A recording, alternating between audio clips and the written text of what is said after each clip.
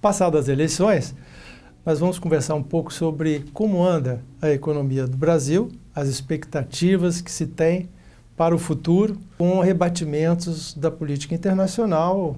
Nós temos aqui a presença do economista Geraldo Carneiro, que vai nos falar um pouco sobre esse cenário. Geraldo, obrigado mais uma vez por sua presença aqui. Nós estamos vivendo, acho que, num momento sem precedentes, né? Eu li o programa econômico do PSL. Sim. Né? É um programa econômico liberal. Sim. Certo? Adotando políticas liberais. Bem similar à, à política adotada pela Margaret Thatcher nos anos 90 na Inglaterra. Sim. Correto? Então, realmente nós estamos mudando o paradigma econômico do Brasil, certo? A ser implantado grande parte da, do programa econômico, nós deveremos ter uma mudança de conceito econômico, onde o Estado brasileiro deverá diminuir de tamanho e, inclusive a nível fiscal e tributário, e gerar confiança e riqueza no setor privado. Essa é a expectativa que ah, tem os grandes agentes econômicos do Brasil hoje. Correto? Nós vimos movimentos de ativos financeiros que consolidam essa expectativa. Alta de bolsa, redução de taxa de câmbio, correto? Redução de taxa de juros no mercado ah, secundário, correto? Que é o que dita o preço das taxas de juros no Brasil. Sim. Certo?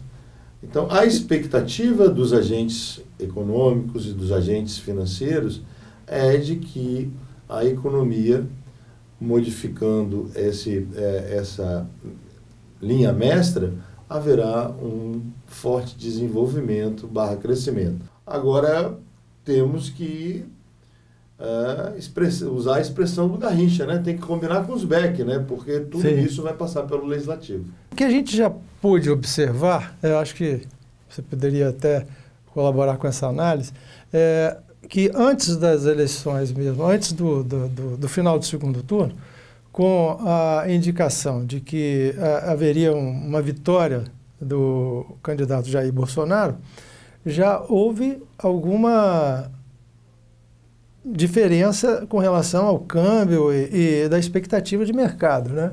O importante para a gente é entender que no mercado de câmbio livre, certo? As variáveis que influenciam no preço são variáveis de política, são variáveis de política interna e externa, correto?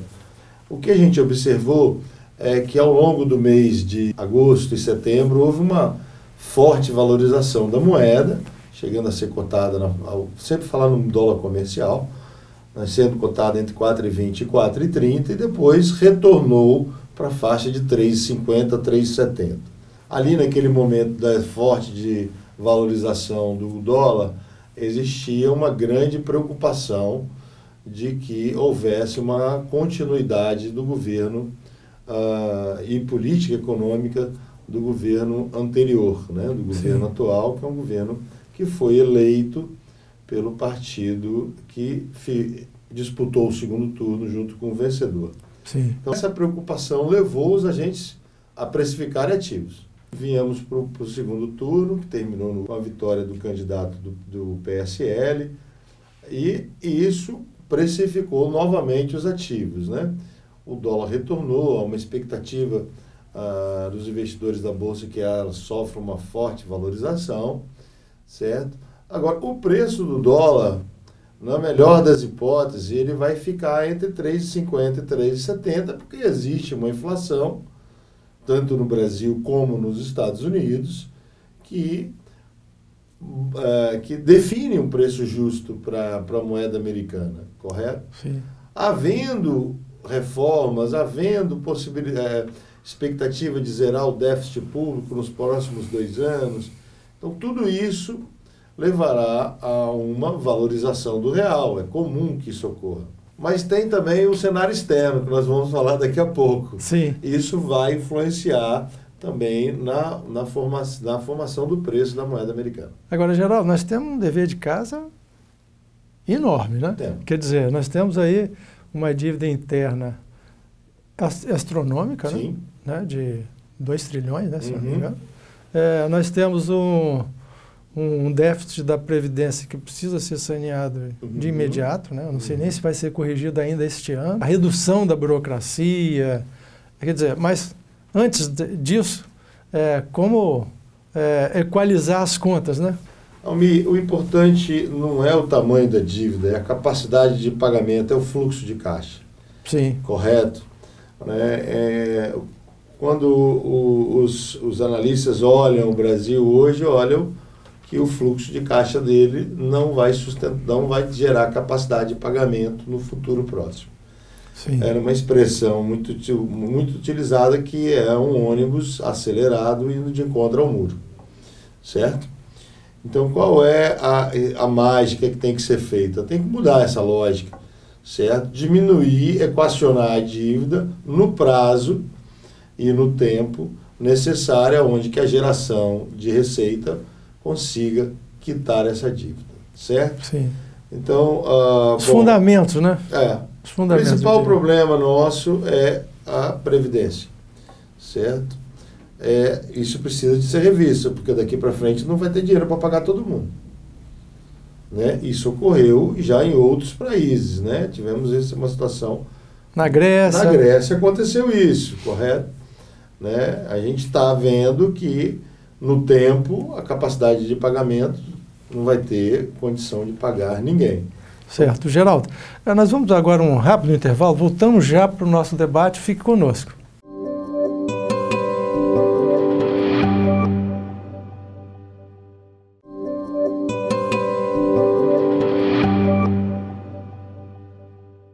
Voltamos à entrevista com o economista Geraldo Carneiro, falando um pouco sobre o cenário atual da economia, a expectativa que nós temos daqui para frente após as eleições de 2018.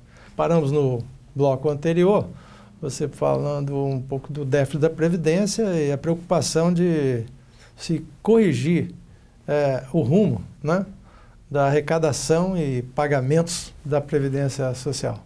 Ah, então, esse é, é um problema que nós vamos ter que enfrentar e enfrentar de imediato, correto? Depois a gente tem que ter, rediscutir o tamanho do Estado, né? É assustador ah, ouvir que um presidente tem capacidade de indicar 20 mil pessoas, Sim. 20 mil cargos, né? né? Eu acho É muita coisa. É muita coisa, né? E como é que É. ele vai vai fazer isso? Naturalmente, não consegue se controlar isso, tá certo? Então, isso é uma coisa que tem que ser pe- repensada, certo? É, os 20 mil cargos de confiança, imagina quanto tempo que ele, ele deveria analisar se tem confiança ou não naquelas pessoas, é né? possível que em quatro anos ele não consiga encontrar os 20 mil, os 20 mil pessoas, né? É. Então, um outro problema que nós temos que discutir são as estatais, certo? Existem realmente empresas estratégicas, correto, né? Gente, existem empresas estratégicas, Sim. mas tem outras empresas que não têm nada de estratégico, né? E geram um, um déficit violento. Né? Isso parece que vai ser combatido também na primeira hora. Sim. Então, para mim, para os investidores, para os agentes econômicos e para os agentes financeiros, o fato de ter uma expectativa de mudança tão radical como essa leva, naturalmente, a um sentimento de esperança. Sim. Correto? Sim. Então, havendo essas mudanças sendo aprovadas no legislativo, aí nós vamos ter confiança. Aí a economia vai, vai caminhar com, a passos largos para o crescimento tão necessário ao brasileiro. O brasileiro hoje está trabalhando com nível, nível de desemprego muito alto. Muito elevado, né? Em torno de elevado. 14 milhões. Né? É. Isso para qualquer país é um desespero, né? Porque Pô, eu diria, é, alguém é, falou que É o melhor programa social que existe é um emprego. é o emprego, É um né? emprego. É. É um emprego, é uma É. responsabilidade social É, que uma empresa tem é dar lucro, porque dando lucro ela já paga salários, paga tributos, faz a economia girar, correto? Então, a em- empresa que dá lucro, ela gera emprego, ela gera tributos, ela, a economia cresce no entorno dela, Correto? Lógico que nós temos que sempre estar medindo a forma de que vem esse lucro. Para isso existe o Estado. O Estado é uma representação da sociedade que normatiza a relação entre os entes dessa sociedade, pessoa jurídica, pessoa física, poder judiciário, poder uh, legislativo e poder executivo. Agora, Geraldo, é, e outros fatores externos hoje que estão pairando aí na, na, economia mundial que afetam ou que trazem até benefícios a, ao nosso novo comportamento? Perfeito. Olha, nós temos um, um, um problema, um, uma grave crise que é a guerra comercial que está ocorrendo entre Estados Unidos e China. Dois parceiros comerciais Dois fortes do Brasil. comerciais fortes e do Brasil alguns, alguns cientistas políticos prevê o retorno da Guerra Fria entre Estados Unidos e China. Né? O Brasil está, no momento, sendo beneficiado na, no quesito do agronegócio. Sim. Isso está claro, está certo, porque a China sobretajou o produto ah, uh, agrícola americano e nós não temos essa restrição. Né? Não que haja, houve um aumento acentuado de preço, mas uh, nós produzimos soja com custo muito baixo e, naturalmente, estamos absorvendo a parte do mercado exportado pelos Estados Unidos. Isso está é, tá nos beneficiando. Mas são, são situações momentâneas, pode mudar sim, sim. de uma hora para outra. Como tem mudado né, o comportamento até do próprio presidente Trump nessas negociações aí. Sim, ele começou sobretaxando o taxa o, o euro... brasileiro, é. depois ele veio com uma, uma condição né? especial, especial, tá certo? Sim. É o modelo bate-a-sopra, é, parece que essa é a estratégia é, do, do, do, Trump. Trump. uma outra situação que está preocupando principalmente os agentes financeiros do, do mundo é a Itália, que apresenta uma dívida 130, de 130% do PIB, é um, é um país que não tem um crescimento expressivo e isso está gerando desconfiança da capacidade de pagamento dela dessa dívida. Apresentou um orçamento ah, para 2019 ah, ao, ao Comitê Econômico Europeu e esse orçamento previa crescimento de gastos.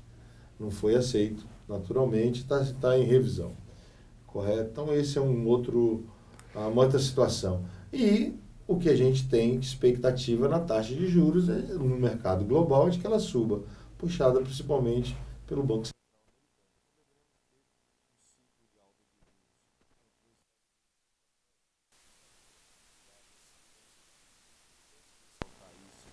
O investidor estrangeiro tem, uma, é, tem bastante dinheiro no mundo para investimentos, principalmente no setor de infraestrutura, mas a segurança jurídica no Brasil é precária. Então nós precisamos de criar segurança jurídica, né? A segurança jurídica também é importante porque ela diminui o custo do Brasil, Sim.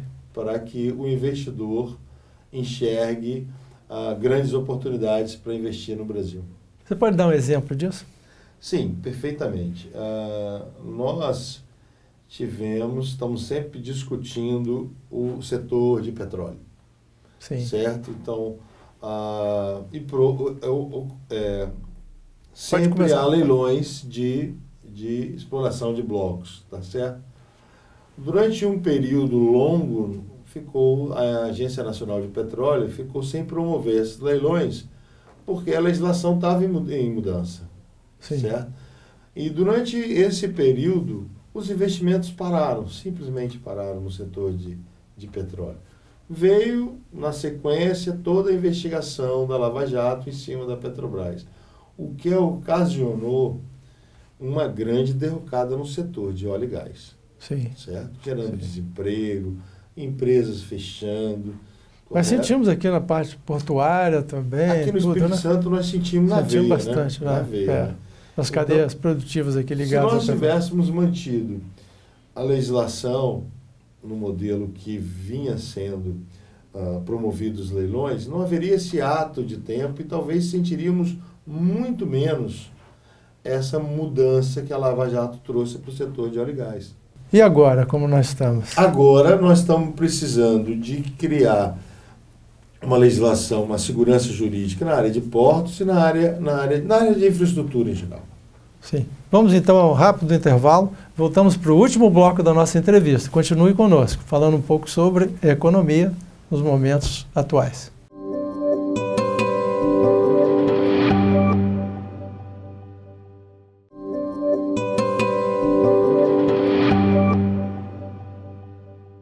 Voltamos agora ao último bloco da nossa entrevista com o economista Geraldo Carneiro, falando um pouco sobre a economia em tempos de pós-eleições.